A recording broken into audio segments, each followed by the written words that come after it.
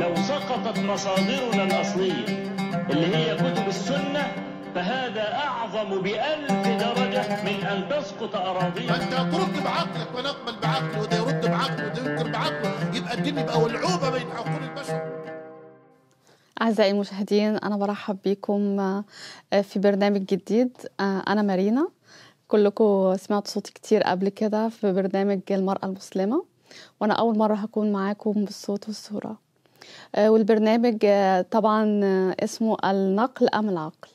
وطبعا إحنا اخترنا اسم البرنامج ده النقل أم العقل لأن الشيوخ دايما بتفضل النقل عن العقل. ولكن من خلال الحلقات اللي هتكون معاكم طبعا هنفضل العقل على النقل. والبرنامج هيتكلم عن كتب كتير ولكن أنا هبدأ بأول كتاب وهو تاني أهم كتاب عند الإخوة المسلمين وهو صحيح البخاري وده أصح كتاب بعد القرآن يعتبر. وعنوان حلقتنا النهاردة هيكون البخاري وعلاقته بشيخه. وقبل طبعا ما أتكلم عن البخاري لازم الأول أعرف مين هو البخاري.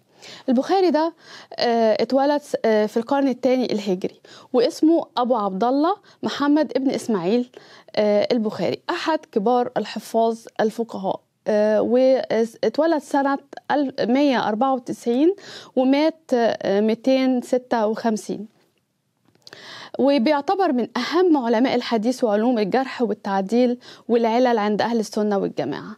وليه مصنفات كتير جدا ومن أبرزها طبعا الجامع الصحيح المشهور باسم صحيح البخاري. وهو بيعد أوثق الكتب السنة الصحاح واللي أجمع على صحته كل علماء أهل السنة والجماعة. وبيعتبر أهم كتاب بعد القرآن وطبعا هو قعد أمضى في تصنيفه 16 سنة. واتربى يتيم وطلب العلم من هو صغير ورحل في أرجاء العالم الإسلامي كله. رحلة طويلة يطلب الحديث ويسمع من حوالي ألف شيخ. وجمع حوالي 600 ألف حديث. اشتهر شهرة واسعة جدا وحتى إن هم لقبوه بأمير المؤمنين في الحديث. التلمذ على إيده شيوخ كتير جدا ومن أهم الشيوخ اللي اتلمذت على إيده مسلم وابن خزيمة والترمذي وغيرهم. وطبعا هو أول واحد كتب يعني كتاب مجرد للحديث الصحيح. طيب إحنا دلوقتي هنعرف ليه البخاري كتب صحيح البخاري. من خلال طبعا الكتب الإسلامية إحنا هنعرف الكلام ده. من أول كتاب هنقوله منار القارئ بشرح مختصر صحيح البخاري.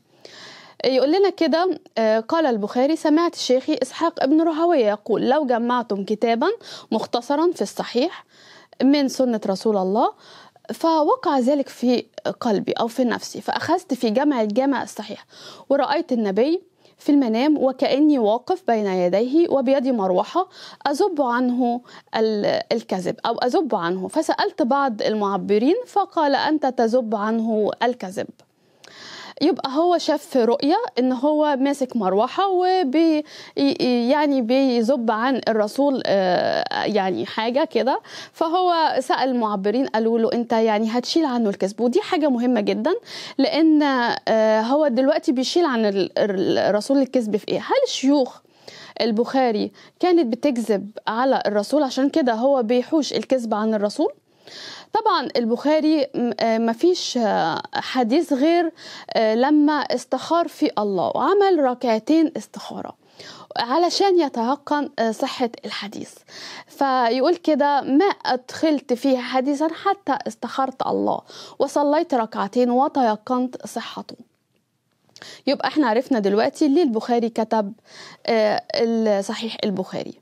طيب قبل ما ندخل في موضوع حلقة النهاردة لازم نعرف شوية معلومات مهمة جدا. على أساس هذه المعلومات إحنا هنبني عقيدة البخاري. أول حاجة لازم نعرفها إن الإخوة المسلمين أو علماء أهل السنة والجماعة بيقولوا إن القرآن كلام الله غير مخلوق وإن القرآن اللي هيقول إن أي شيء في القرآن مخلوق ده بيكون كافر. الكلام ده بنقراه فين؟ في الفتاوي الكبرى لابن تيمية كتاب في الرد على الطوائف الملحدة والزنادقة أوجه الرد على المعارضين. آه، أول حاجة بنشوفها عن آه، الإمام أحمد بن حنبل. قال سئل أحمد بن حنبل عن تفسير آه، قوله القرآن كلام الله منه خرج وإليه يعود. فقال أحمد منه خرج وهو المتكلم به وإليه يعود. يبقى القرآن كلام الله منه خرج وإليه يعود. دي حاجة معروفة عند أهل السنة والجماعة. وهنقرأ مع بعض تاني في نفس المرجع. بيقول كده قال وقيع من قال أن كلام الله ليس منه فقد كفر. ومن قال أن شيئا منه مخلوق فقد كفر. يبقى دلوقتي إحنا فهمنا عقيدة أهل السنة والجماعة بتتكلم على أن القرآن كلام الله غير مخلوق. ودي خلاص دي حاجة معروفة عند أهل السنة والجماعة. طيب خلينا بقى ندخل في موضوع حلقة النهاردة. الشيخ البخاري واحد اسمه الزهلي. الزهلي ده إحنا هنعرف حكايته مع الشيخ البخاري. وأول كتاب هنبتدي نقرأ منه هو اسمه سير أعلام النبلاء الطبقة الرابعة عشر أبو عبد الله البخاري. ذكر قصته مع محمد بن يحيى الزهري رحمهما الله. ويقول لنا كده آه، سمعت محمد ابن يحيى الزهلي يقول القرآن كلام الله غير مخلوق من جميع جهاته وده كلام الزهلي بيقول القرآن كلام الله آه، غير مخلوق من جميع جهاته. آه، وحيث تصرف فمن لزم هذا استغنى عن اللفظ عما سواه من كلام القرآن بيأكد نفس الكلام.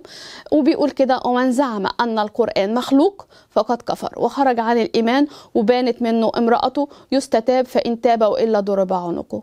وج- ماله فيئا بين المسلمين ولم يدفن في مقابرهم يعني زي الكافر بالظبط كحكم المرتد. ولو حد وقف عند الكلام وقال لا أقول مخلوق ولا أقول آه، غير مخلوق فقد ضاع الكفر. طيب آه، خلينا بقى في الحتة المهمة اللي إحنا هنتكلم فيها النهارده في الحلقة. ال- ال- الشيخ الزهلي بيقول من زعم أن لفظي بالقرآن مخلوق فهذا مبتدع لا يجالس ولا يكلم ومن ذهب بعد هذا إلى محمد بن إسماعيل البخاري فاتهموه فإنه لا يحضر مجلسه إلا من كان على مثل مذهبه. يبقى دلوقتي الشيخ الزهلي بيقول إيه؟ بيقول محدش يروح عند إيه؟ البخاري اللي هيروح يقعد عنده آه، هتعرفوا على طول إن هو على نفس مذهبه. ليه؟ لأن البخاري كان بيقول إن الك- لفظه بالقرآن مخلوق وده اللي إحنا هنبتدي نقرأ فيه. بيقول لنا كده حاتم في الجرح والتعديل يقول لنا قدم محمد ابن إسماعيل الري سنة 50 و200 وسمع منه مين؟ واحد اسمه أبو زرعة وابو عبد الرحمن ده وتركوا حديثه. وعندما ليه تركوا حديثه؟ عشان الشيخ الزهري بيقول إن هو أظهر عندهم بنسابور إن لفظه بالقرآن مخلوق. يبقى إحنا بنأكد المعلومة إن البخاري أظهر إن القرآن مخلوق. في نيسابور.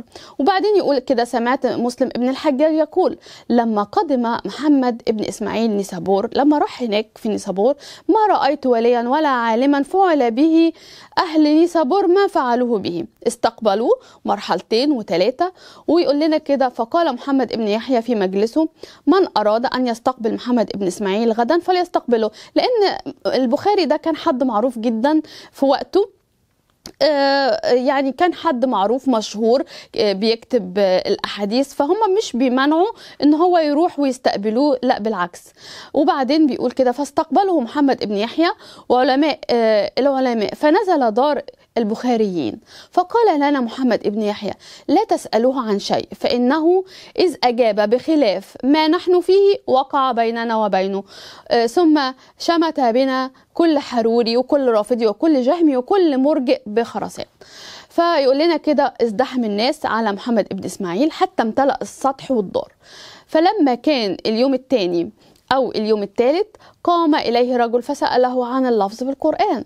فقال أفعلنا مخلوقة وألفظنا من أفعالنا فوقع بينهم اختلاف. فقال بعض الناس قال لفظي بالقرآن مخلوق وقال بعضهم لم يقل حتى تواسبوا فاجتمع أهل الدار وأخرجوهم.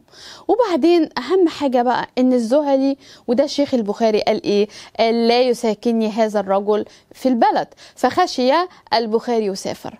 ويقول لنا كده حديث يقول لنا قال محمد ابن أبي حاتم أتى رجل أبا عبد الله البخاري وراح قال له حديث قال له إيه؟ قال يا أبا عبد الله آه، إن فلانا يكفرك. فقال قال النبي إذا قال الرجل لأخيه يا كافر فقد باء به إحداهما. يعني إيه الكلام ده؟ يعني لا زي ما البخاري كفر آه، زي ما الزهلي كفر البخاري راح البخاري كفر آه، الزهلي يبقى دلوقتي البخ... يبقى البخاري مين كفره؟ شيخه. شيخ البخاري كفر البخاري. وتابعوني الحلقة الجاية آه، في حلقة جديدة من برنامج النقل أم العقل. لو سقطت مصادرنا الأصلية اللي هي كتب السنة فهذا أعظم بألف درجة من أن تسقط اراضينا فأنت ترد بعقلك ونقبل بعقله وده يرد بعقله وده ينكر بعقله. يبقى الدين يبقى ولعوبة بين عقول البشر.